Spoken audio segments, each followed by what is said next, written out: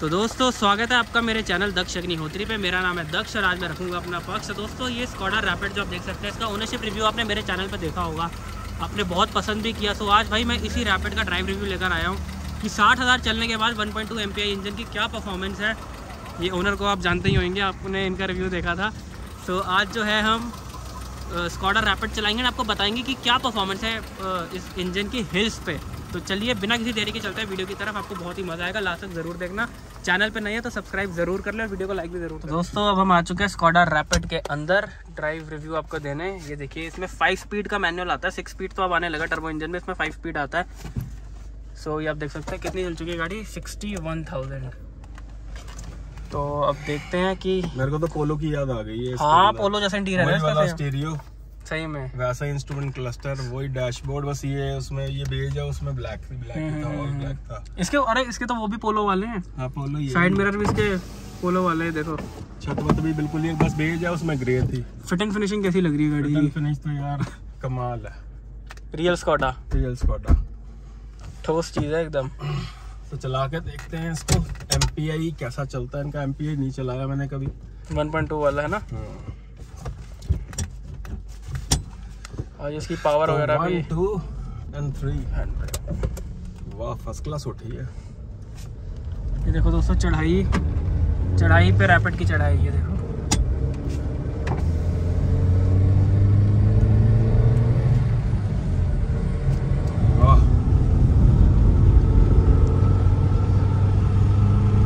तो अच्छा लग रहा है। एमपीआई इंजन के हिसाब से बहुत बढ़िया चल रही है। नॉन टर्बो इंजन है। टर्बो के हिसाब से अभी भी।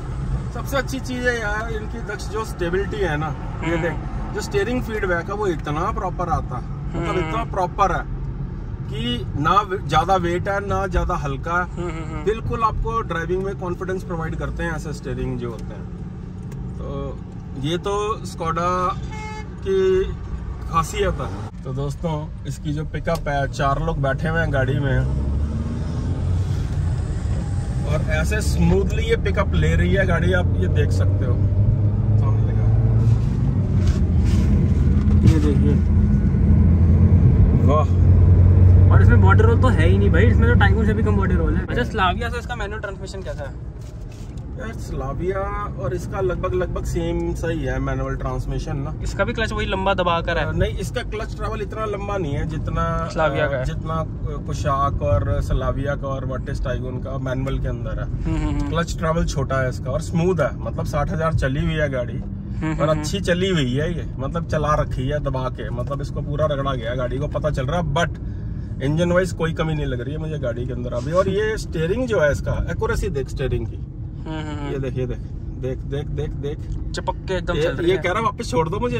ये देख। ओए होए होए। ये ये है स्कॉट और बीडब्ल्यू टाइगोन से कैसा लग रहा है इसका स्टीयरिंग यार टाइगोन का थोड़ा सा न्यू जन स्टीयरिंग है। उसमें थोड़ा सा इससे कम वेट है। लेकिन वेट उसका वो उसमें उसको चला के भी बड़ा मज़ा आता है। थोड़ा सा हाई स्पीड पे ये हिल्स पे थोड़ा ज़्यादा प्रॉपर लग रहा होगा क्योंकि थोड़ा वेट सा लग रहा है कि आप मैं इसको अगर इसकी टॉप स्पीड पे भी चला दूँगा ना तो हम्म। मेरे को मेरा कॉन्फिडेंस नहीं लूज होगा स्टीयरिंग की वजह से और स्टेबिलिटी अच्छा। की वजह से। तो शायद जो ऑनर है गाड़ी के उन्होंने इसीलिए ये पहाड़ों के लिए भी यही चुनी हुई है गाड़ी। बिल्कुल।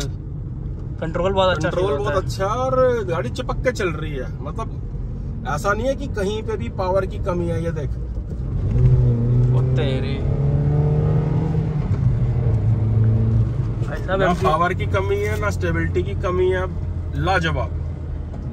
तभी भैया स्कॉटा बेच के लोग स्कॉटा बीडब्ल्यू बेच के बीडब्ल्यू ले लेते हैं। मैंने बहुत से दक्ष ऐसे लोग देखे हैं जिन्होंने वेंटो के बाद फिर वेंटो ले ली। ये देखो एक पीछे भी बैठे हैं हमारे। मैंने भी स्कॉटा के बाद स्कॉटा के बाद स्कॉटा ले लेते हैं बीडब्ल्यू के बाद दोबारा बीडब्ल्यू ले लेते हैं। तो आपको क्या लगता है कि क्या रीजन है कि लोग एक बारी जो इनकी गाड़ी ले लेता है एक तरह से वो वो ट्रैप में ही हो जाता कि दोबारा दूसरी गाड़ी कोई लेता ही नहीं है वो। जैसे आपको चलाकर अभी लग रहा है इसकी पिकअप इसकी ड्राइव क्वालिटी स्टेयरिंग का एक्सपीरियंस इसका साथ में जो स्टेबिलिटी है सेफ्टी है ये कोई भी कॉम्प्रोमाइज नहीं करना चाहेगा। बिल्कुल। और स्कोडा और वॉक्स ये बिल्कुल इसी के लिए मशहूर है। इसी के लिए मशहूर है। तो अभी आपने जैसे आपने रिव्यू में अपने बताया था कि आपने सलाविया बुक कराई है तो क्या आपको इससे कुछ कॉम्प्रोमाइज लग रहा है बिल्ड क्वालिटी में सलाविया में या सेम लग रही है? उन्नीस बीस का फ़र्क होगा क्योंकि देखो स्कॉडा ने अपनी जो स्टैंडर्ड्स है वो मेंटेन करने ही है। करना ही है बिल्कुल। जैसे तो कुछ आपके फाइव स्टार आए हैं। उनके लिए सबसे पहली चीज़ तो सेफ्टी है और सबके लिए सबसे पहले चीज़ सेफ्टी होनी सेफ्टी होनी चाहिए बिल्कुल हम्म, बिल्कुल हम्म, बिल्कुल। तो मेरा भी मानना यही है दोस्तों कि अगर गाड़ी थोड़ा खर्चा भी दे रही है साल में एक बार तो भैया सेफ्टी भी आपको ये तीन सौ पैंसठ दिन प्रोवाइड कर रही है। बिल्कुल सही बात है। मेरा मानना ये का, कार जो होती है वो सेकंड होम होता है। उसके अंदर आप पूरी फैमिली को लेके भी ट्रेवल करते हम्म, हम्म, हो हम्म। जैसे हम घर की नींव मज़बूत बनवाते हैं और हर तरीके से पक्की दीवारें बनवाते हैं और हर तरीके की सेफ्टी का ध्यान रखते हैं और गाड़ी हम ले लेते हैं कागज़ जैसी। कॉर्नरिंग कैसी लग रही है? जैसे मैं एकदम टर्न अच्छी लग रही है। थोड़े टायर चेंज होने वाले हो रहे हैं। सेडान की कोई बेनिफिट लग रहा है सेडान का यहाँ सेडान का ये है कि हाँ नीचे होने वह तो वैसे थोड़ी सी एसयूवी फील दे दी है मैंने ऊँची कर ली है सीट जैसे अभी हम एसयूवी में आए टाइगून में हम्म। कहने को तो एसयूवी है। हम्म। ये सेडान है तो कोई बेनिफिट लग रहा है कि सेडान का कोई बेनिफिट है? बेसिकली टाइगुन भी ना सेडान जैसी ही चलती है। मेरे को तो वो चला के भी बड़ा मज़ा आया। लेकिन देखो मैच नहीं कर सकते हम ये दोनों गाड़ियों को। ये ये- 1.2 एमपीआई है। और वो 1.5 टर्बो है। तो इंजन पावर में तो भाई ज़मीन आसमान का फ़र्क आ जाता है लेकिन ये जिस हिसाब से पावर प्रोवाइड कर रही है ना ये देखो। कहीं से कमी फील नहीं हो रही। और ब्रेक्स ओए होए होए मतलब कमाल का कॉन्फिडेंस प्रोवाइड कर रही है ब्रेक दक्ष। हम्म, मतलब आपको डर नहीं लगता इस गाड़ी के अंदर। और ऊपर से ना यार मुझे ऐसी फीलिंग आती है सेफ़ चीज़ में बैठा हूँ मैं मज़बूत है। है। गाड़ी जो है। बहुत मज़बूत मज़बूत लगती है। तो तीसरा गियर है ये।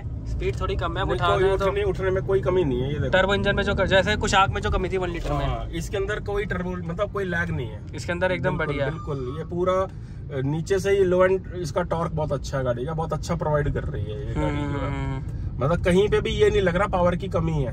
अपना- है अपना थोड़ा एक्सपीरियंस बताओ मतलब कैसे स्कॉटा के बाद फिर स्कॉटा क्यों ले ली? आपके पास पहले भी तो रैपिड थी। स्कॉडा के पास स्कॉडा ले ली क्योंकि तो वो बोल रहे आना है इसमें ढाई लाख रुपए इससे अच्छा है कि नई स्कॉडा आई थी तब लॉन्च हुई थी।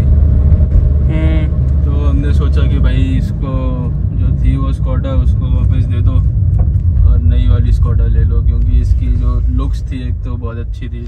तो जब इतना खर्चा आ रहा था फिर भी कैसे ट्रस्ट हो गया कंपनी पे? नहीं खर्चे की बात नहीं है ना वो तो गाड़ी पलटा दी थी मेरे दोस्त ने। तो ट्रस्ट मेरे को कंपनी में नहीं मेरे को मेरे दोस्त पे ट्रस्ट उठ गया था। वो मैं बच गया था तो मेरे को गाड़ी पे ट्रस्ट था पूरा क्योंकि गाड़ी पलटने के बाद भी सारे सल, सही सलामत थे। अच्छा। मतलब दो बार ही पलटी थी गाड़ी लेकिन गाड़ी हम, हम जो थे उसमें मेरा डॉग था कुत्ता था छोटा वो भी पूरा सही सलामत था। तो दोस्तों, यही थी आज की video Skoda Rapid 2018 model 1.2 MPI manual transmission का ड्राइव रिव्यू भाई, वीडियो कैसी लगी मुझे कमेंट करके ज़रूर बताना। वीडियो पसंद आए तो वीडियो को प्लीज़ लाइक और चैनल को सब्सक्राइब ज़रूर करना। मुझे इससे बहुत मोटिवेशन मिलती है आपके लिए ऐसा और कंटेंट लाने के लिए। तो मिलते हैं बहुत ही जल्दी नेक्स्ट वीडियो मैं। बहुत ही जल्दी एक वीडियो लाऊँगा जिसमें टाटा ओनर ने जो है मेरी वीडब्ल्यू की टाइगून चलाई। इसमें आपको जानने को मिलेगा, जब एक टाटा ओनर वीडब्ल्यू चलाते तो क्या इंप्रेशन रहता है? टाटा ओनर ने चलाई फॉक्स टाइगून चैनल सब्सक्राइब ज़रूर